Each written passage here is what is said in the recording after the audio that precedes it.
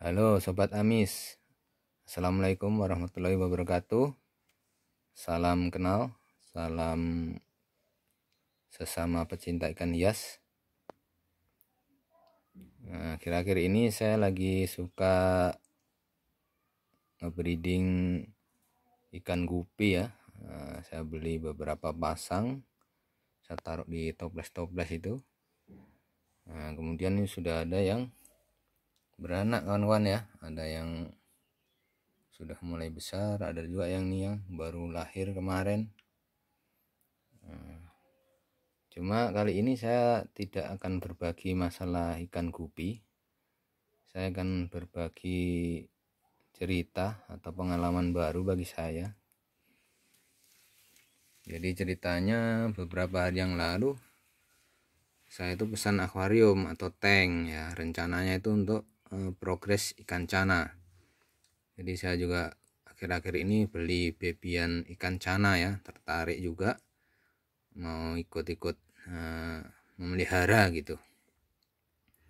Nah pas saya ambil akuarium yang udah jadi ternyata abang yang bikin akuarium itu dia breeder ikan cupang gitu ya di belakang rumahnya itu banyak sekali ternyata ikan cupangnya. Nah, saya lihat-lihat itu.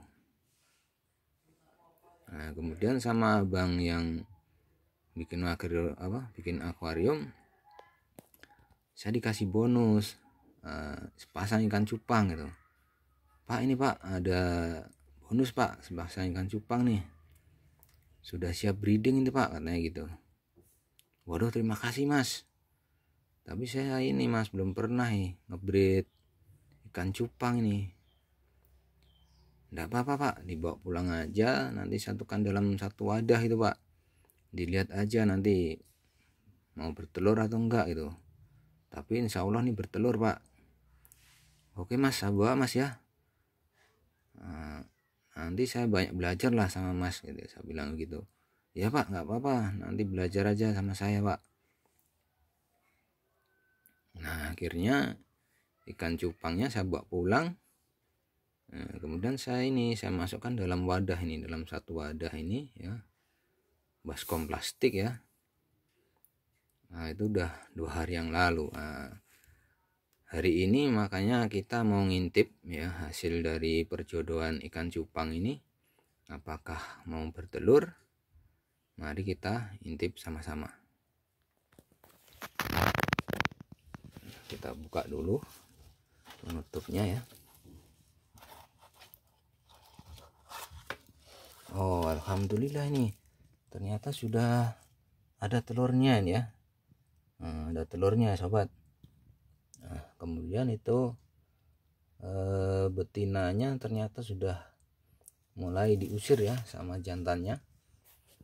Karena jantan ini kan dia akan melindungi telurnya gitu jadi saya juga baru tahu kalau ternyata yang melindungi telur dan anak-anak itu yang jantan gitu ya. Jadi betinanya enak sekali ya tugasnya hanya anak bertelur gitu kan. Ya hanya bertelur ah, habis itu yang rawat jantannya itu ya. Ya itulah kuasa ilahi ya. Nah ini pesan masnya katanya kalau udah betinanya diusir nih harus segera diambil gitu ya karena kalau enggak nanti ya itu akan diserang terus sama yang jantan ya. Karena jantannya kan berusaha melindungi telur-telurnya gitu. Nah ini kita angkat saja betinanya ya daripada nanti rusak ekornya digigitin terus sama yang jantan ya. Nah ini saya sudah siapkan soliter. Kita masukkan soliter ya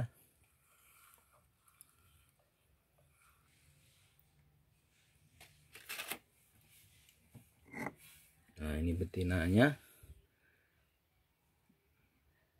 usianya katanya sekitar enam bulan ya enam bulan. Kalau yang jantannya lebih muda dia empat bulan katanya.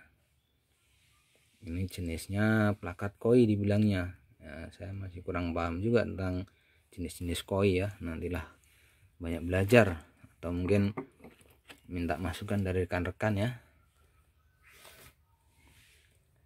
nah ini jantannya dia akan melindungi telur-telur ya. Nanti sampai menetas. Mungkin satu atau dua hari nantilah kita lihat lagi gimana hasilnya apakah menetas semua. Ya harapan saya banyak menetas ya. Karena ini lumayan banyak nih telurnya itu ya. Nah ini telurnya ya yang putih-putih ya.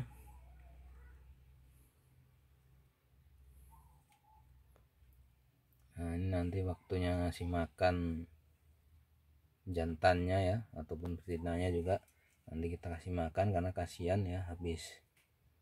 Ya katanya malam pertama gitu ya.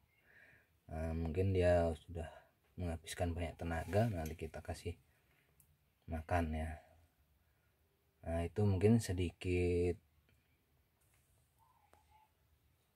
pengalaman yang saya bagi ya. Nanti mungkin beberapa hari yang uh, beberapa hari lagi nanti kita lihat lagi hasilnya.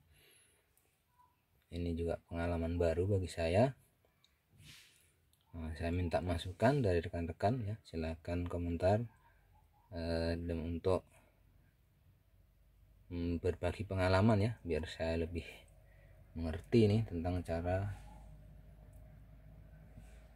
budidaya ikan cupang. Itu saja dari kami ya. Eh, sampai ketemu lagi. Wassalamualaikum warahmatullahi wabarakatuh